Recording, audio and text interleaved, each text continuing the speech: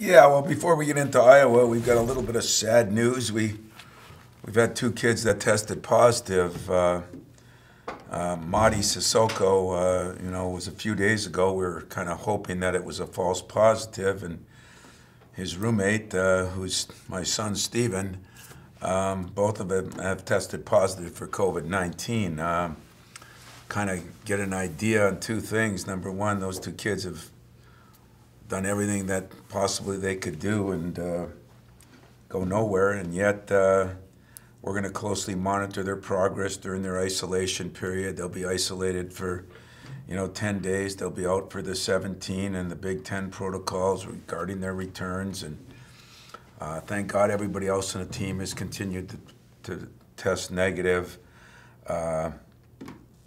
And we're just stressing the same thing. You know, you watch the NBA, the NFL, now hockey starting, and you're not only seeing a lot of people getting it, but you're seeing more second time, which was my worry of Christmas and New Year's, and you know, guys that had it maybe earlier in the summer. We didn't have many that had it earlier, and then the second one comes 90, 100 days later, and. Uh, I guess just like Dr. Fauci said, sounds like it's all pretty, uh, pretty standard as far as what he said and what's going on. But uh, you know, saddens me, of course, uh, because Mady was a guy that we are starting to play more minutes, and we knew with the Iowas and Illinois coming up, uh, you know, size would help, and uh, he was starting to play, you know, six, eight, ten minutes a game, whatever he was playing, and uh, building towards even more.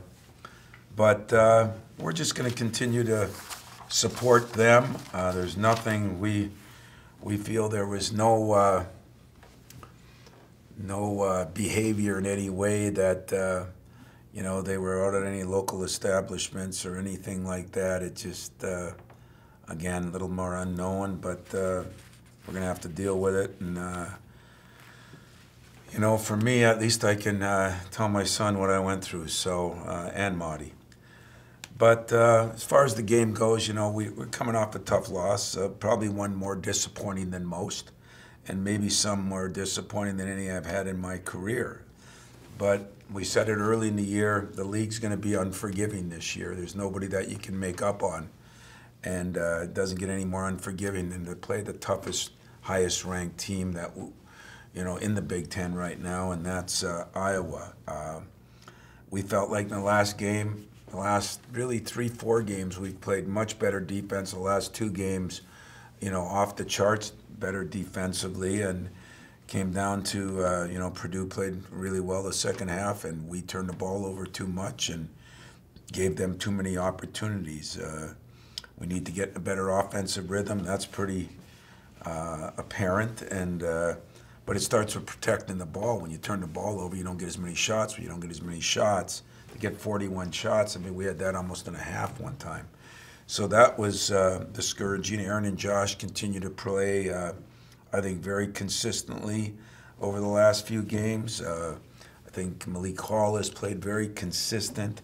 We just feel like we've got to get maybe a few more shots for Joey Hauser. We feel like we've got to get uh, Gabe Brown uh, back in there a little bit more and Rocket uh, you know, I've been very pleased with his practices as he's trying to learn how to uh, to uh, you know hit that mid-range shot and things. So he's had a very good week of practice. As far as Iowa goes, as I said, you can argue who's the best team in the league. It depends who plays who, but they definitely are not only one of the best in the league, but one of the best in the country.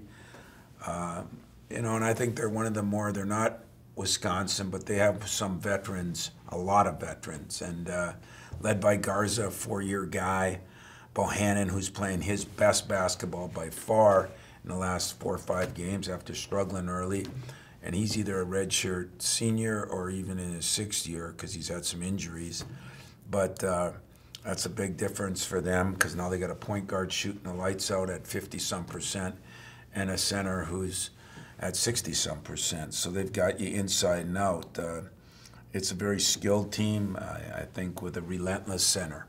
I mean, when I say relentless, um, if you watch him run, you'd think most of you could cover him. And, uh, and the guy just has a heart as big as a lion. I mean, he just keeps going. It's he might not get to a certain speed, but the speed he's at is the same speed when the game starts and when it ends. Uh, I think he's got a great right hand, left hand. He's got vacuum cleaners for fingers. They just suck the ball in. Very good hands, and he can shoot a three uh, with with uh, more than respectable consistency. So, um, Fran's done a great job with this team because after you get by the point and the center, and now you get into you know Wieskamp and Fredrickson, and his own son Connor, who I think uh, they've done a great job with the what happens when you got guys that have played together for three and four years, people do understand their roles, and nobody does it better than Connor McCaffrey. He, uh, you know, he's kind of a point forward. He kind of just sets the right picks, makes the right passes, takes a shot when needed, but really understands his role. And I think uh, probably an undervalued member of that team in Wieskamp and Fredrick two guys that are you know as good as any wings in the league. They can shoot it from three. They're six five, six six, pretty athletic. They can put it on the floor. So you know when you look at it on paper, it looks like the best team we've played by far, and yet uh, you know they're. Uh, they've still got like everybody's got. He's got things that, uh, you know, I think their defense has improved as a team, which used to hurt them a little bit. But I, I you, you kind of cheer for a team like this if you weren't playing them because number one, I think Fran's a very good coach and a very good guy, but the way their team has, he hasn't built it with transfers. He's built it with freshmen, and he's built it with guys coming in and growing together, and uh, they have a lot to offer. So, questions. We'll go first to Chris. Hey, Tom, uh, in particular with Garza, uh, with, with Marty out, how much, what is the challenge now for, for the other three guys in, in the post, uh, the, the centers, and, and how do you, I mean, I know you won't give it away totally, but, I mean, do you feel like you can go small on him, like last game? Do you feel like you can go big, or do you just want to throw a lot of different bodies at him?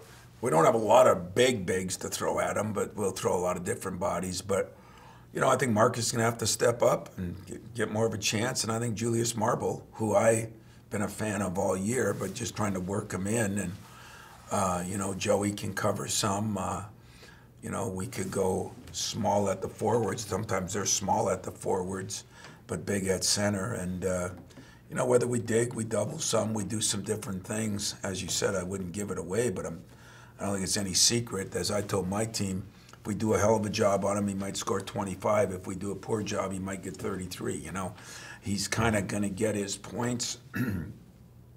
what we've got to make sure of is we put an emphasis on Garza, but if we put everything on Garza, then, you know, every two he makes is two. Every three they make, because you don't guard the perimeter, is three. It doesn't take a genius to figure out that uh, at the end of the day, you know, you, you don't want to try to stop the two and give up the three. So they've got great balance. That's what makes them a top five team. Go next, Matt Charbonneau. Um, I know the, the defense has, has played better the last few games, and, and you're happy with that. Offensively, I know the turnovers are a big thing, but what's the key to finding that consistency offensively? Because it seems like this is a game you're going to have, you're certainly going to have to score, got to keep up with this team. Yeah, I think you're right, and I think that's maybe a good issue. You know, I I do think turnovers create some of the problem. I mean, we had four turnovers or three the first half of the Purdue game, and we're scoring a decent amount of points, shooting a very high percentage. Um, and we've had a, the turnovers have been in a variety of ways. I mean, illegal screens, uh, things that aren't normal.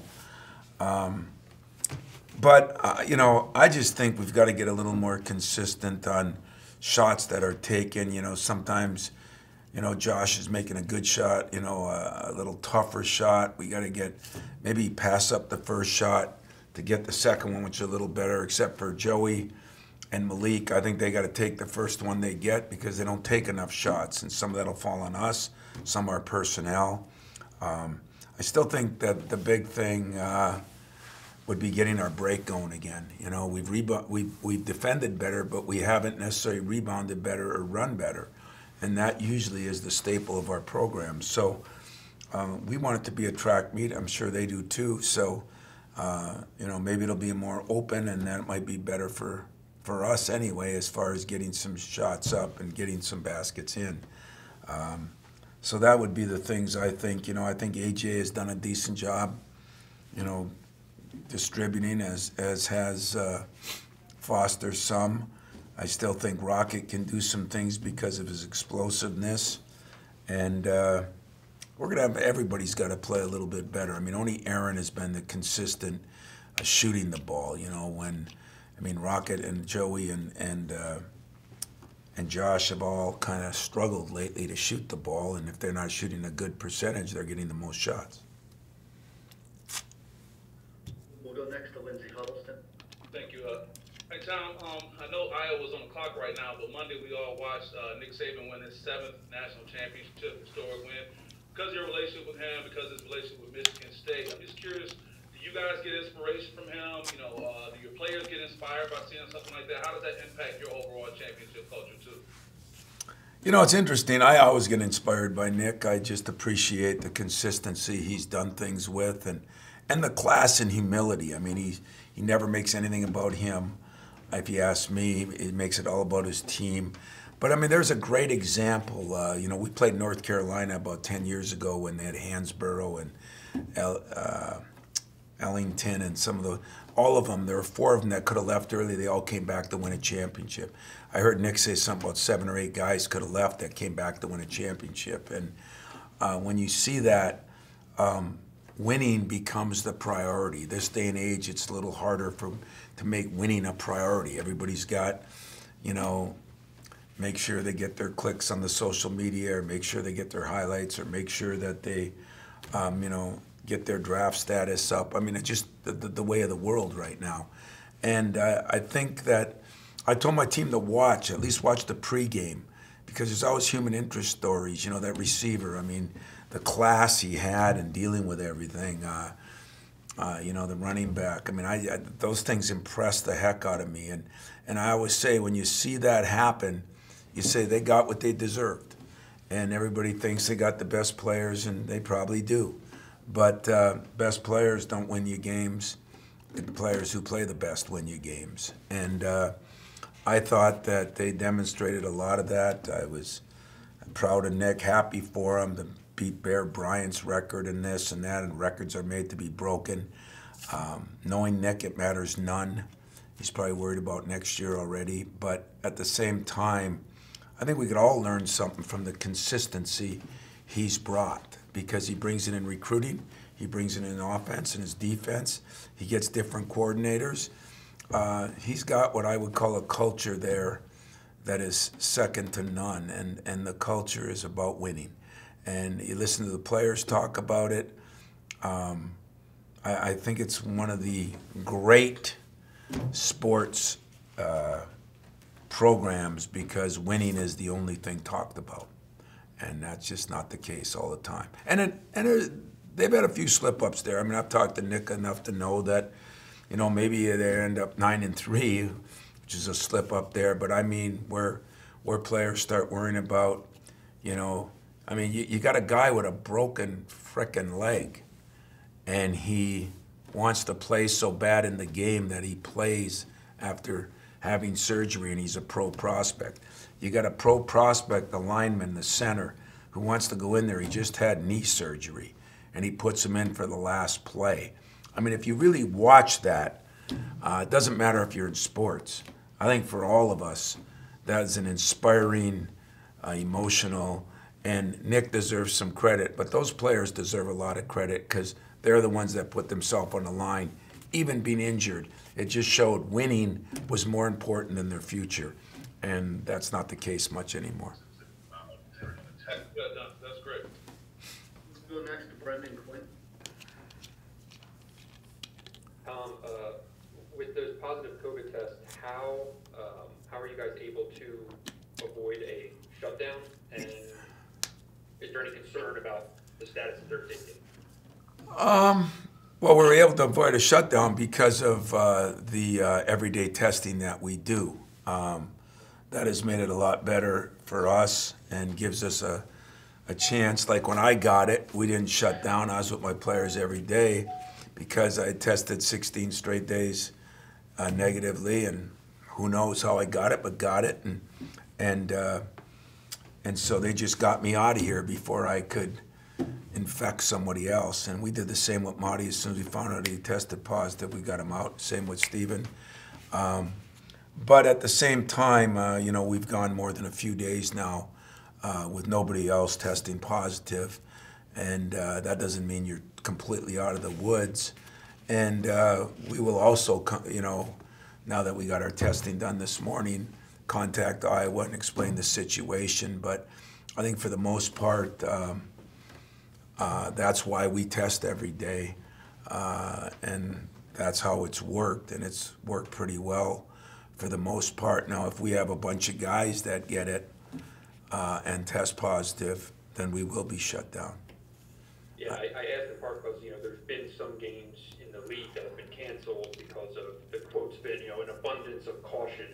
So I just wondered if there's any possibility of Iowa saying, you know, let's, let's call this off, or you guys agree? Um, I, I imagine there, I imagine there is a chance of that, and, uh, and I would completely understand. I mean, I, I don't think any of us really know what's going on. I think we're just trying to, to trust the process and the protocol the best we can.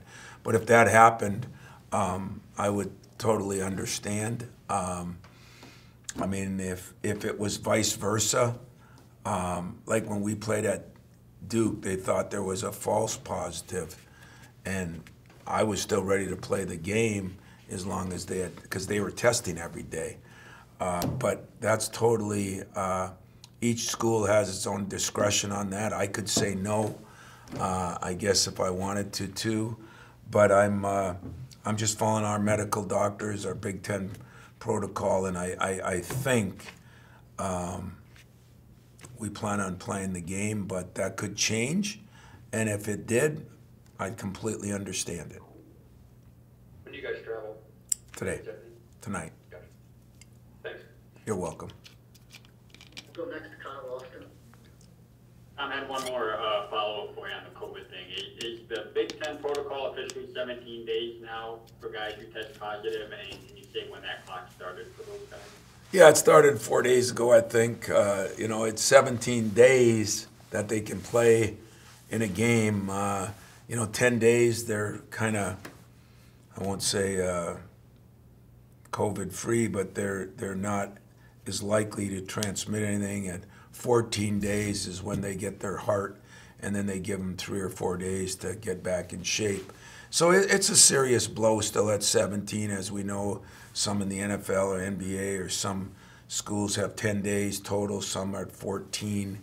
Um, 21 was the max. 17 is still the max, I think, of any conference, and that's what we're doing here, and and we're supporting the protocol. But it it'll be 17 days, so it'll be somewhere. Uh, I don't know. Our trainers, I got enough things to worry about. They got that down, but uh, I want to say Marty was. Uh, so it was, if it was four days ago, two weeks from today, maybe around the 19th or no, let's see. What's today? Look at the 27th or so? Yeah, probably before he can play again. Uh, probably around the 20th, he could be out of isolation and, uh, you know, maybe watch a practice or something. He just could not participate. And then right after his heart scan or treatment, or um, then he can start practicing again. And then, if I could, you- you mentioned earlier about uh, wanting to get more involved. Um, What was kind of the decision with- with him not having quite a big role against? You know, Josh and, and Aaron were playing pretty well, and they were playing very well defensively, and um, you know that was the only only reason, to be honest with you. And um, if we had to do it over again, would I do it different? You know, maybe go smaller and and uh, you know play Gabe or Aaron at the foursome, uh, maybe, and that's a possibility. But uh, it wasn't anything Gabe did wrong. We have time for a couple more. We'll go to Sarah Tidwell from State News. Hey Coach. So in the last three games, we've kind of seen the same starting five. So what do you look for when you're picking the starters? And then what do you think are the benefits of having, you know, somebody younger like AJ starting versus Rocket coming off the bench? Well, the whole thing with Rocket was whether he played the point or not, to be honest with you, and uh, and that was a decision we all made, and, and including Rocket some. Now he has, I'll tell you what, spent a lot more time looking at it, and I think has a different perspective, and and, and he's actually we've played him some there. Um, I think he's getting used to the driving, the kicking, and and you know, you're not seeing as many of the step back threes, which I think is going to help him. He's still not shooting as good as I think he can shoot, but we just tried to take a little bit more off his plate so that because we think we need him a lot. And last year, you know, he played about 20. That's what he's been playing this year, but he's been down a little bit those couple of games. But I still think Rocket's going to be a very valuable part. He'll play more than one, but AJ has done some things. His assist to turnover ratio is very good. Um, he's been pretty good defensively. I don't think as good as Rock. I mean, if you know, I started the season like I did because that was my hopes. But sometimes coaches, you know, our job is to put everybody in the best position they can be put in for them to be successful. And uh, and I told you I thought we we hurt Rocket a little bit because wasn't right real ready for that considering he had no practice time all spring, summer, fall, and exhibition season. So I, I took the blame for that and still do. But he has spent a lot more time in here looking at those things, and you know we're still uh, he's still a very, very, very important part to what we do. We just got to get everybody. Everybody's got to play a little better, and coaches got to coach a little better. We'll go, uh, Larry DeLays to wrap it up. Hey, Tom, uh, how would you describe how you're feeling about this team and, and if you can describe what you think the players' uh, psyche is? Yeah, you know, I think people. Uh, there's so much going on in our country right now. You know that um, I'm not saying that the players, you know, blow anything off, but um, they've learned to deal with a lot. And you know, last week, I mean, after that game, I, I guess I took offense to a couple questions that, more or less, are you are you losing your team? You know, there's none of that. I mean, I got as good a kids as I could have. I, I, I feel great about where they are. There's nobody. We practiced very well. Um, you don't lose your team with a couple losses. People aren't quitting on anybody. We didn't play well, you know. And uh, now, if you took the first half of that game, you'd say we played maybe one of our best halves of basketball. So, um, it's- the guys have been great, and uh, I've told you in the past when they weren't. So, you can either trust me or not. But it it has been different. You know, as you talk to people all over the country, um, these kids are going through a lot, and uh, you throw a little bit on their plate and lose a couple games, and people get mad and all that, and then they're dealing with the COVID, and now we start school again. Um, none of you will ever appreciate what those guys are going through. Uh, sometimes I don't appreciate it. You know, I just, as I said, I, I got to go through a lot too. Every day you worry about who's testing. That that is every day of the week. Uh, and when you're tested now for three straight months, um, that's a lot of worrying in, in, in the head coach's part. And uh, and yet I don't I don't worry about the demeanor of our guys. I don't worry about the attitude of our guys. I mean, you're always going to have somebody. You know, I sometimes I'm not crazy about Marquis' body language, and I tell him that. But uh, you know, Mark is going to get more of a chance than he even had, and uh, now he's got to he's got to play, and uh, and I think that's a good thing. But I, there's been no, um, you know, everybody will want a quarterback controversy. Everybody will want something negative, and I'd be the first to go with, you know, I don't like the way they're doing this. Don't like the way they're doing that. Uh, probably one of the sadder um, pregame or post-game events I had in the locker room because I wasn't mad at anybody. I was hurt and disappointed for them and with them. And I say that because we played as hard as we could play. We didn't play as well as we could play. And uh, I think it made them realize there's, there's more than just offense, there's more than just defense, you know. To win championships, you got to be, and to be successful, you got to be good in all areas. And if one lets you down, um, It's hard to make up for it. Right now, we're struggling offensively. It was just a month ago we were scoring 80 points a game and 85, and every thing looked rosy offensively. And we were sitting in these same press conference complaining, "Why are teams shooting 48% against you and 50?" I, I watched uh, Duke last night, and you know their team defense is 46 or 7 percent. You know, it's like unheard of. And so we're trying to correct the same things. We've corrected it. We're way better defensively, and now we're struggling some offensively. So maybe this will be a good game. I know everybody will be up for it. I, I knew they were up for the Purdue game. And then the, uh, the chance to not play in front of fans on the road or playing, maybe, maybe a little bit tells you how important our fans are at home. And, uh, but I swear to you, Larry, there's zero issues, zero. Guys are great. They've been, they've worked hard. We've had two a days sometimes. We've had meetings. We've had film sessions. Um, they're they're all locked in on what they can do. So, no issues. Quick, quick related follow-up, uh, visiting the hospital, was that kind of, uh, the timing of that kind of diffuse any? Well, you know, it was strange. Like, Yeah, you know, it wasn't meant to diffuse anything. It was planned a month ago, but it was a pretty cool thing, you know. And if there was something that was diffusing, it was, you know, the painting, not by number, but that we all did. Um, it took an hour and a half away because you had to focus in because of the lines and that. And I, I never seen a bunch of guys enjoy it more. And then to go down to the hospital and not be able to go in, we had to be outside and but get a chance to meet the miracle kid who had a one percent chance of living, to go down there and and see those doctors and nurses, and you know, we have the audacity to say, I'll get letters from me, you know, you're my hero, or players, you're my hero. Um, that's almost disturbing to me now because uh, for 10 straight months, I think 10 months from today, um, we've been in this, and these doctors and nurses, uh, frontline workers, have been uh, doing something that probably most athletes and coaches could never do sustain at the highest level for 10 straight months. And uh, so getting a chance to meet some of those, our players were really impressed by it. And and get to talk to them and social distance, but but talk to them, be outside with them.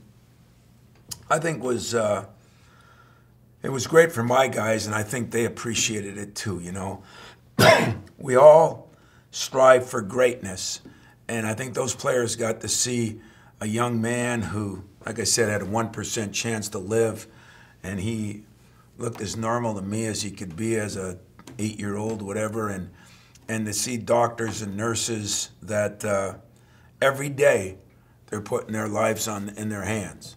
I mean, we can we can look at COVID any way anybody wants to look at it. We can look at it as a as a virus that can kill, or we can say it's like the flu. I mean, I differ from most people, but at the same time, I understand everybody's got their own way of looking at it. But when you go into a hospital every day and people are laying there with it and you're treating them, those, my man, are the real heroes of our country. You know, it's like the people that go to war. It's it's doing something that uh, you you get very little benefit. You don't get extra pay. You don't get this or that. You just you do it because that's what you're you're made for. And uh, God, it was it was a joy to see those doctors and nurses. It was a joy to see some of the kids. I just wish we could go in the hospital and visit uh, because it brings a different perspective. But it, it was, it took away a little bit day after a tough loss, but it added a lot uh, for me and I think for my team. So you guys stay safe, stay healthy, keep masking up, and uh, we'll see if now uh, you know, as teams, and a lot of teams are coming down where there's more cancellations than transfers, and that's hard to believe, but there are. And uh, so, you know, one of the reasons I wanted the depth and to try to build the depth was a case this happened. And unfortunately, you know, for Steven, that's uh, sad for me, but for Marty, it's sad because I think he was just starting to come on, and now he'll be out for the two and a half, three weeks. And uh, but we'll we'll get through it and uh, we'll see what happens. Thanks a lot.